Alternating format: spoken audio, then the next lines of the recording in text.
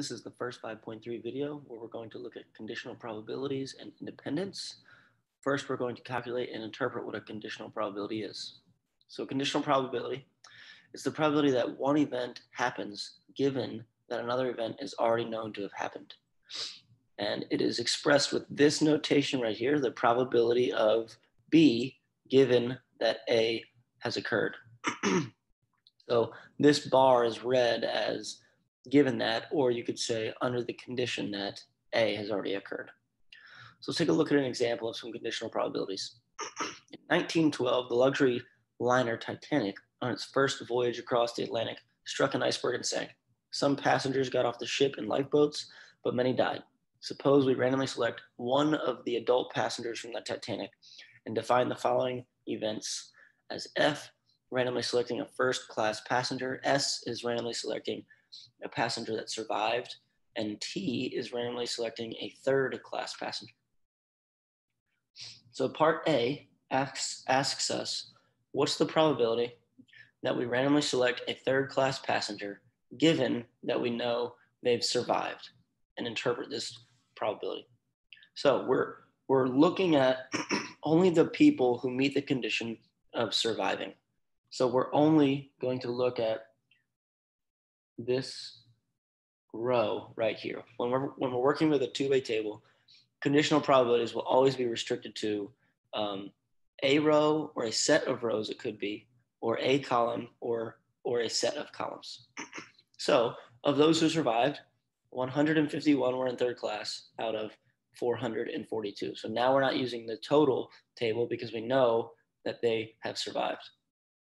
So to interpret this, given that a randomly chosen passenger survived, there's about a 34.2% chance that she or he was in was a third class passenger. So now we're to look at part B where we flipped T and S. So this is going to be a different probability and it's going to be read differently. Now it's the probability of the person surviving given that they were a third class passenger and interpret the value in this context. So now we're only looking at those who were third class passengers. So we're only looking at this column here. So of those people in that column, there were 151 out of 627 who survived.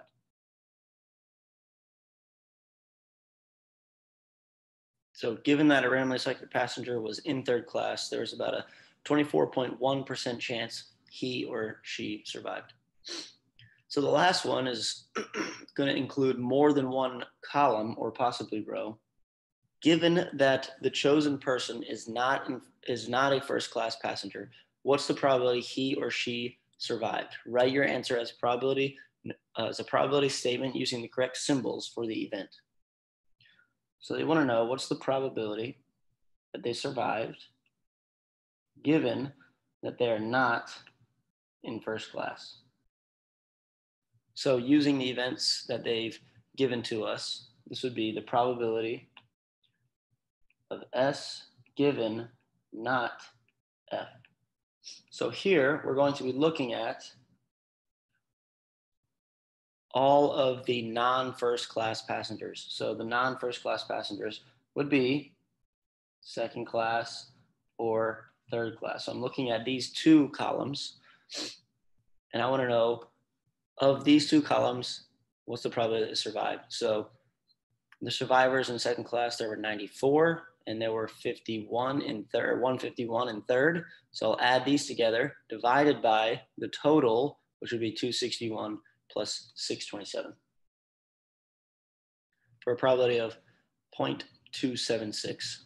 So there's about a 27.6% chance that the person survived if we knew they were not in first class. So when we're using a two-way table, it's a lot easier to calculate conditional probabilities because you know you're going to be restricted to looking at a specific row or a specific column or a set of rows or columns. But we won't always be calculating conditional probabilities from a two-way table. And so when we're not, we're going to use this specific formula for conditional probabilities. And this is the probability of A given that B has occurred. So to calculate it, all you have to do is the probability of A and B both occurring divided by the probability of B occurring. So let's take a look at an example we've done in a previous video. A survey of all residents in a large apartment complex reveals that 68% use Facebook, 28% use Instagram, and 25% use both. Suppose we select a resident at random. Given that the person uses Facebook, what's the probability that he or she uses Instagram? So this is what I'm looking for, the probability they use Instagram given that they use Facebook. So I need to write out the probability of them using both divided by the probability of the second, which is Facebook.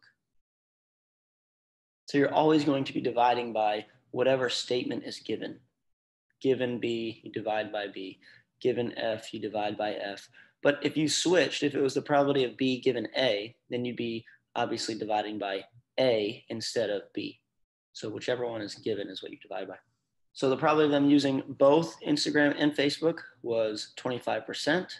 The probability of them using just Facebook was, or the probability of them using Facebook is 68. So the probability of them using Instagram, given that they use Facebook, is 0.368. And that's just using the conditional probability formula. The whole reason we want to use or we talk about conditional probabilities is for the purpose of seeing if two events are independent or if they are not independent. Um, not independent is the same thing as them being dependent. For some reason, in statistics, we want to say not independent.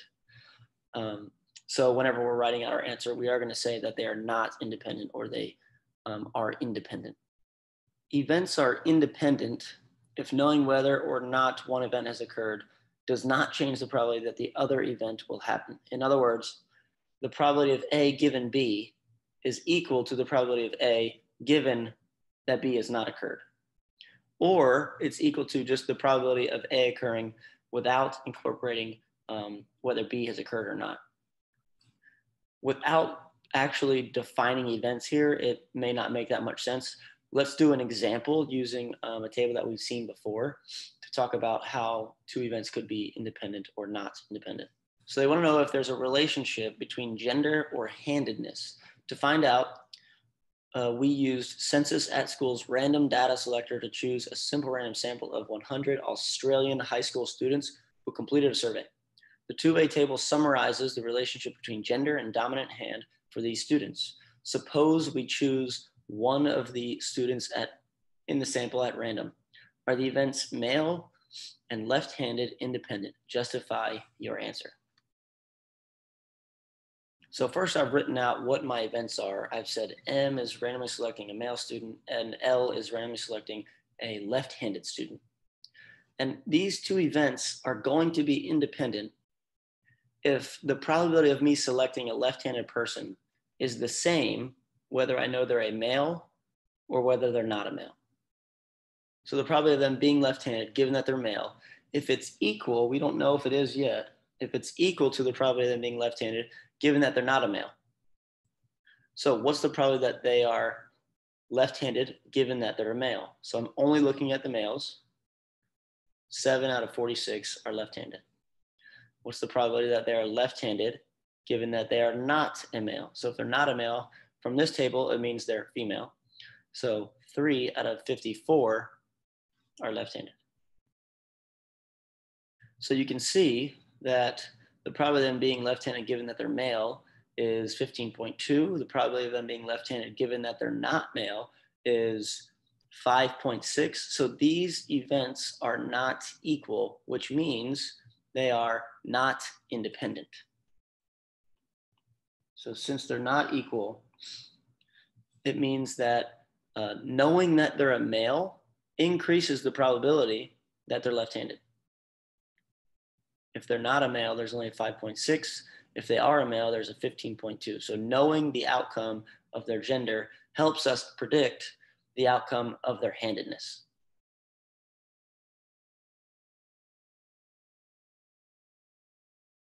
So since these probabilities are not equal, the events male and left-handed are not independent. Knowing the student is male increases the probability that the student is left-handed. Uh, if you're looking at this formula here, you you hopefully hopefully have noticed that you could also check to see if this was equal to just the probability of A. So in this case, we could compare this or this to just the probability of them being left-handed. So what is the probability of them being left-handed here? There are 10 out of 100 total. So there is a 10% chance that they're left-handed, which you'll notice is also not equal to this one or this one. So that that could be another way that you could show that these two events are not independent.